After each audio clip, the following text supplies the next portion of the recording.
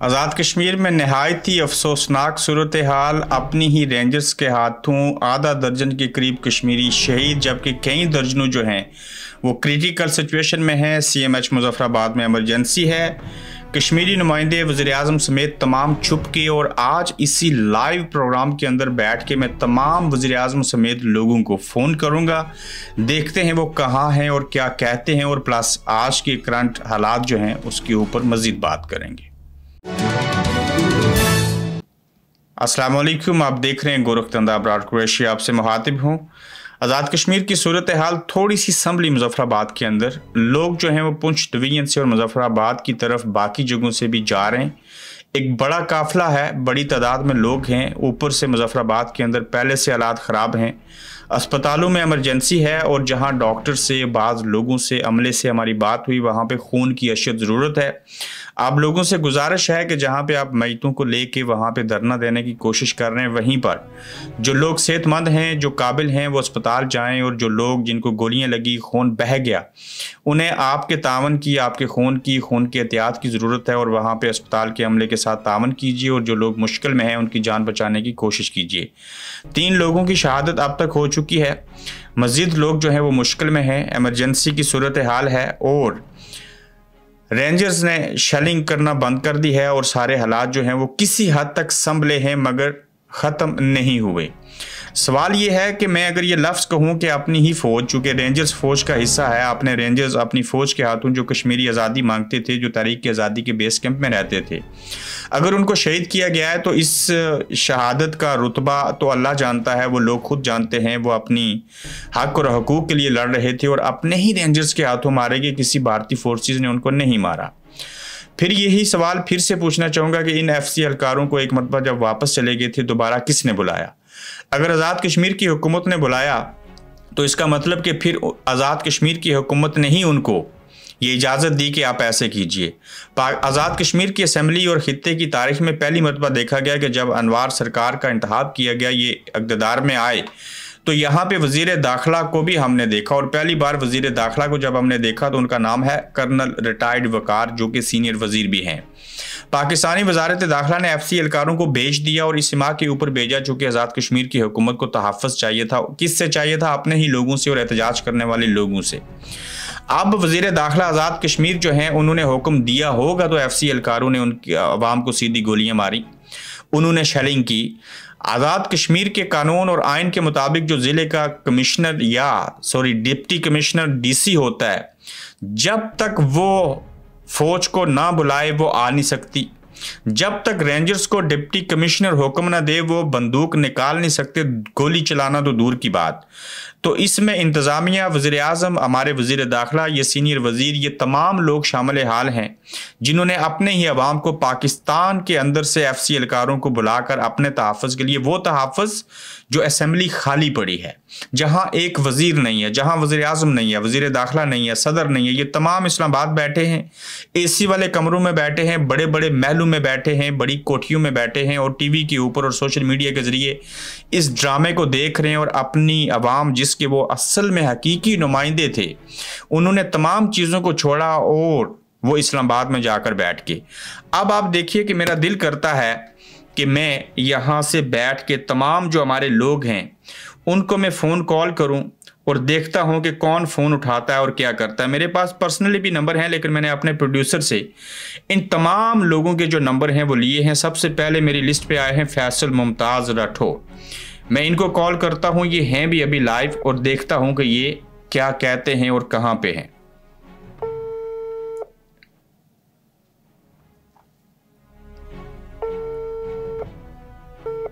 فیصل ممتاز راٹھور صاحب فون نہیں اٹھا رہے۔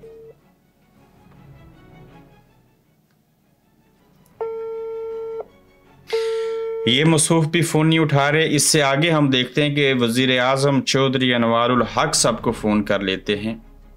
یہ ہمیں ہمارا فون اٹھاتے ہیں کہ نہیں اٹھاتے۔ ان کے نمبر کے اوپر کالنگ ہو رہی ہے، رنگنگ نہیں ہو رہی۔ یقیناً مصوف جو ہیں، ان کا نمبر بند ہوگا۔ میرے بڑے اچھے جاننے والے ہیں چودھری لطیف اکبر۔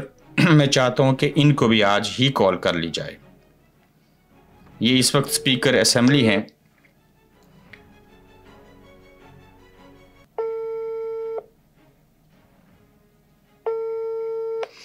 یہ بھی فون نہیں اٹھا رہے۔ ڈاکٹر نثار انصر عبدالی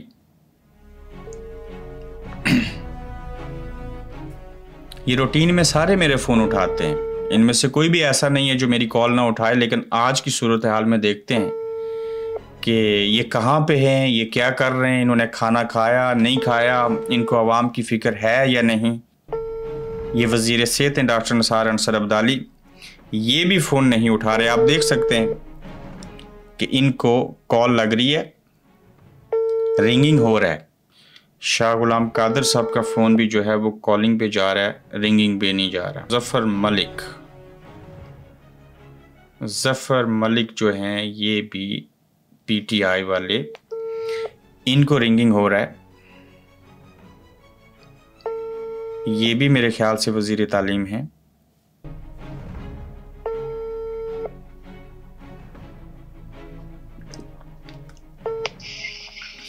السلام علیکم۔ جی السلام علیکم۔ وعلیکم السلام۔ میں نے تقریباً آدھا درجن سے زائد وزراء کو پرائم منسٹر سمیت سب کو فون کیا۔ آپ واحد ہیں جنہوں نے میرا فون اٹھا لیا۔ بڑی مہربانی آپ کو اس وقت لوگ سن رہے ہیں اور میں آپ سے بات کر رہا ہوں۔ آپ کیسے ہیں؟ اللہ کا شکر آپ خیریت سے میں خیریت سے ہوں۔ ظفر ملک صاحب آپ ایسے کیسے کہہ سکتے ہیں کہ اللہ کا شکر ہے؟ آپ ایک ریاست کی وزارت کو جو ہے وہ لیڈ کر رہے ہیں اور وہاں پہ لوگ شہید ہو چکے ہیں۔ جی بالکل یہ پچھلے کی کچھ دنوں سے آزاد کشمیر کے اندر اس طرح کا ماحول تھا اور آج ایک بڑا ناخوشگوار واقعہ پیش آیا اور میں بحثیت مسلمان، اللہ تعالیٰ کے ہر کام پر اور ہر بات پر الحمد للہ کہنا یہ مسلمان کا شیوا ہے کیونکہ ہر چیز ایک پتہ بھی اللہ کی مرضی کے بغیر نہیں ہل سکتا، تو انسانی جان کا زیادہ اللہ کی مرضی کے بغیر یہ آپ پڑھے لکھے آدمی ہے تو اللہ آپ کو سلامت رکھے۔ تو الحمدللہ کہ میں حیثیت مسلمان شاید آپ نے اس پر کبھی وہ تو بات سے میں میں تو اس سے تو میں اتفاق کرتا ہوں کہ اللہ کا شکر ادا کرنا چاہیے لیکن آزاد کشمیر میں خیریت نہیں ہے۔ وہ میدان جنگ بنا ہوا ہے جی۔ مظفر آباد جی آزاد کشمیر کے اندر بڑا ناخوشگوار واقعہ آج میں سمجھتا ہوں کہ آزاد کشمیر کے امن کو کسی کی نظر لگ گئی ہے اور آزاد کشمیر بڑا پرامن خطہ تھا۔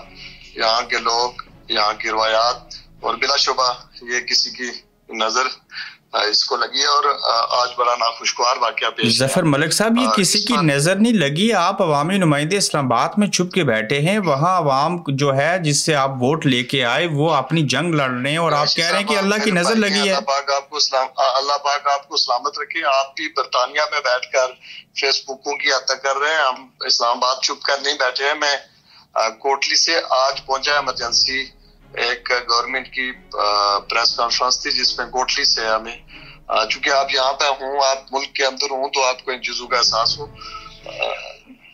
میں کوٹلی سے آج دن کو ساڑھے تین بجے اسلام آباد پہنچا۔ یہ سارے آزاد کشمیر کے وزراء اور وزیر اعظم کشمیر ہاؤس میں بیٹھے ہیں اور مظفر آباد جو آپ کا کیپیٹل ہے وہاں کوئی ایک وزیر کا نام بتائیں جو وہاں موجود ہو۔ آپ تو ٹھیک ہے آج پہنچے۔ جی جی کرنل وقار نور صاحب دیوان علی خان چوتائی صاحب جو ہمارے ذمہ دار اس کمیٹی بنی تھی حکومتی، اس کے ممبران ہیں، وہ اس مظفر آباد کے اندر موجود ہیں۔ اور اس مظفر آباد کے اندر ہونے والے واقعے کی ہم اس کا افسوس ہی کر سکتے ہیں، یہ چیزیں نہیں ہونی چاہیے تھی لیکن میں کچھ چیزیں ہماری سمجھ سے بالا دار ہیں کہ پرائم منسٹر کی پریس کانفرنس کے بعد میں ذاتی طور پر بحثیت کشمیری فیڈرل گورنمنٹ کا بھی شکریہ ادا کرتا ہوں کہ انہوں نے کشمیریوں کے مسائل کو مد نظر رکھتے ہوئے تیئیس ارب روپے کی خطیر رقم پی ایم پاکستان نے مختص کر دی اور اس کے پیش نظر اب جو کشمیریوں کی ڈیمانڈ تھی، آٹے کی سبسڈی وہ پہلے سے بھی تھی اور اس پر مزید اب کشمیر کے لوگوں کو آٹا سستا ملے گا۔ اسی طرح بجلی کا جو ایشو تھا وہ بھی پہلے بھی پاکستان کی بانسبت آزاد کشمیر میں بجلی سستی تھی، لیکن آج مزید سستی کر دی گئی ہے۔ تو یہ چیزیں سیٹل ڈاؤن ہونے کے بعد اس طرح کا واقعہ چونکہ میرا یہ ہمیشہ میں مجھے اس, اس, اس موقع پر مجھے اس ایشو پر مجھے اپنا موقف دینے کا موقع ملتا رہا۔ میں اس جو مذاکراتی کمیٹی تھی اس کے ممبر کے طور پر بھی میں نے ٹھیک ہے لیکن لیکن یہ غلط ہوا۔ لیکن کیا جو ایف سی اہلکاروں کی جانب سے جس طریقے سے آزاد کشمیر کے اندر لوگوں کو شہید کیا گیا شیلنگ کی گئی اس کی بطور وزیر ہوتے ہوئے حکومت کا حصہ ہوتے ہوئے مزامت کرتے ہیں؟ انسانی جان تو دور کی بات ہے، میں سمجھتا ہوں کہ اگر کوئی زی اور روح کوئی جانور بھی آپ کے سامنے اگر کوئی مارا جائے تو اس کی بھی مذمت اور اس کی بھی کی جاتی ہے۔ اور لیکن ایک طرف یہ حقیقت ہے اور دوسری طرف یہ بھی ایک حقیقت ہے، اس پر افسوس ہی کیا جا سکتا ہے کہ جو ہمارے ایکشن کمیٹی کے ذمہ داران تھے، وہ بھی اس واقعے سے لا تلقی کا اظہار کر چکے ہیں، چونکہ وہ مظفر آباد کی طرف روان تھے اور یہ جو لوگ تھے، ہمارے ایف سی تھی پی سی تھی رینجرز تھے، یہ سرحدوں پر ایل او سی پر ہمارے محافظ ہیں۔ اور اس رینجرز اور اس پاک فوج کی وجہ سے ہم اگر ایل او سی پر بسنے والے لوگ اور ہماری مائیں بہنیں رات کو اگر ہم سکون کی زندگی بسر کرتے ہیں، تو یہ پاک فوج کی وجہ سے جو ایل او سی پر جا کر وہ جوان جو جوان ہماری پہرے داری کرتا ہے چونکہ میں ایل او سی کا رہنے والا ہوں میں بہت ساری چیزوں سے واقف بھی اور بہت سارے منظر نامے ہم نے اپنی آنکھوں سے بھی دیکھے ہیں۔ اس میں کوئی دو رائے نہیں ہے۔ ظفر صاحب اس میں کوئی دو رائے نہیں ہے۔ جی۔ لیکن اس بات کی مزامت کرتے ہیں جو کچھ آزاد کشمیر کے اندر عوام کے ساتھ کیا گیا۔ کیا یہ ٹھیک ہوا؟ میں میں جتنی بھی دہشت گردی ہوئی ہے کیا آپ کو اس بات میں یہ بات کہتے ہوئے جو نوجوان پولیس شہید جو سب انسپیکٹر شہید ہوا وہ پرامن احتجاج یہ جو بڑی بہترین دنیا کے ہر جمہوری ملک کی یہ روایات ہے لیکن یہ احتجاج آپ نے نہیں دیکھا اس پر بھی کبھی آپ نے مذمت کی؟ کسی کو اللہ نے توفیق دی ہے؟ میں میں مذمت کرتا ہوں جو پولیس افیسر جو تھا اتنا اچھا نوجوان ہمارا جس کو اسلام گڑھ میں شہید کر دیا گیا۔ لیکن جو عوام ہوئے ہیں دیکھیں نا دیکھیں یہ جو چیزیں ان کی مذمت کرنی چاہیے اور مجھے میں آپ کو سچی بات بتاؤں، بحثیت کو میں سمجھتا ہوں کہ ہم لوگ اپنی اخلاقی اقدار کھو بھی چکے ہیں اور ہم سچی بات کرنے کی اس لیے ضرورت نہیں کرتے کہ لوگ اس وقت جو ہمارے پیچھے پڑ جائیں گے اور لوگ ہمارے مخالف ہو جائیں گے، لیکن سچ ایک ایسی اٹل حقیقت ہے جو کرنی چاہیے۔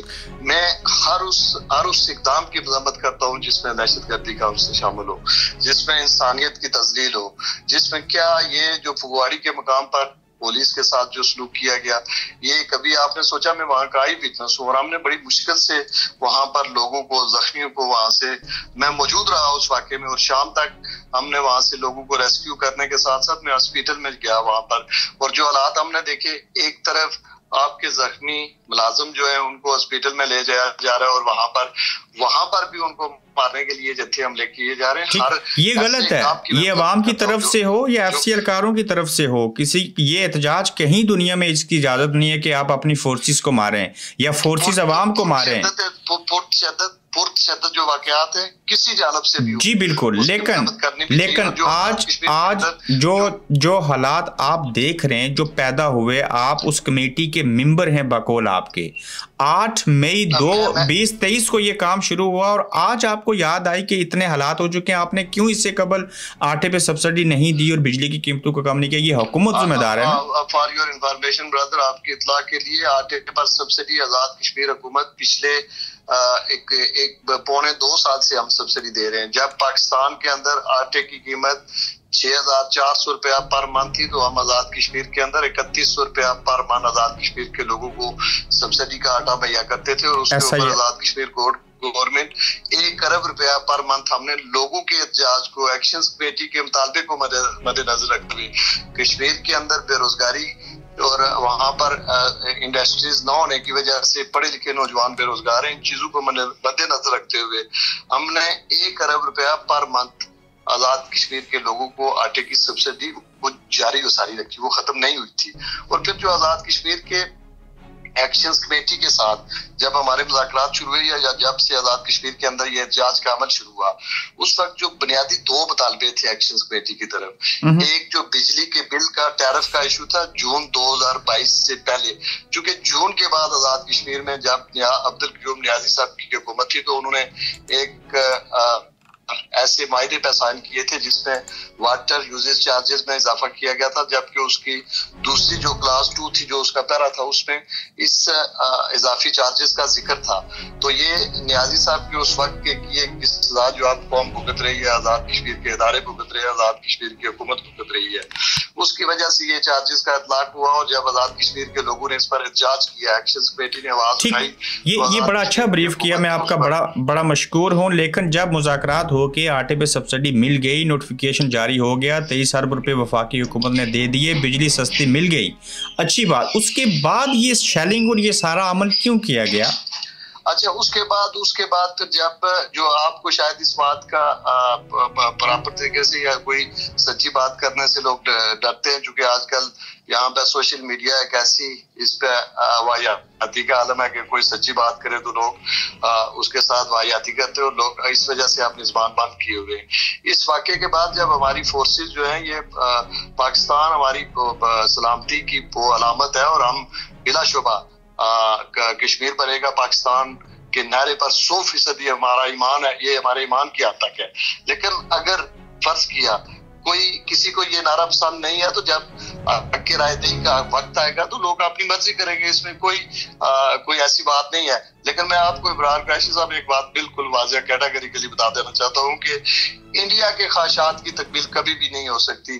کشمیر بنے گا ہندوستان کا جو وہ سوچ ہے وہ اس کی بھول ہے اور نہ ہی اس کے یہ مضمون مقاصد میں وہ کامیاب ہوگا اور نہ ہی یہ تو کسی یہ تو کوئی کشمیری ایسے نہیں کر سکتا نا یہ جو بینرز لگے پوسٹر لگے بتائیں نا کس نے لگائے؟ احتجاج کرنے والوں کو انڈین ایجنٹ تو نہیں کہہ سکتے وہ سارے تو اس میں شامل نہیں تھے۔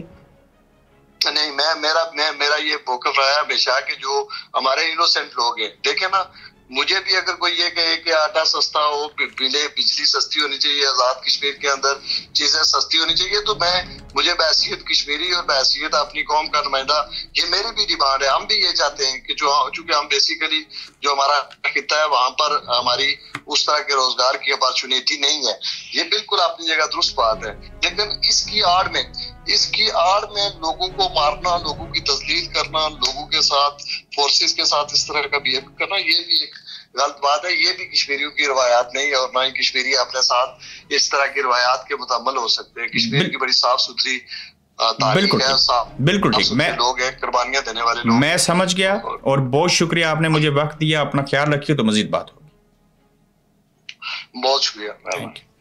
مجھے یقیناً مزید کسی وزیر کو کال کرنے کی ضرورت نہیں ہے۔ آپ نے حالات دیکھ لیے، کس کا کیا موقف ہے، یہ بھی جو ہیں وہ حصہ ہیں اس چیز کا جو حکومت ہے۔ اور clash between Afghanistan and Pakistan border forces یہ ایک نئی انفارمیشن آ رہی ہے، اس کو میں اگلے مرحلے کے لیے رکھتا ہوں۔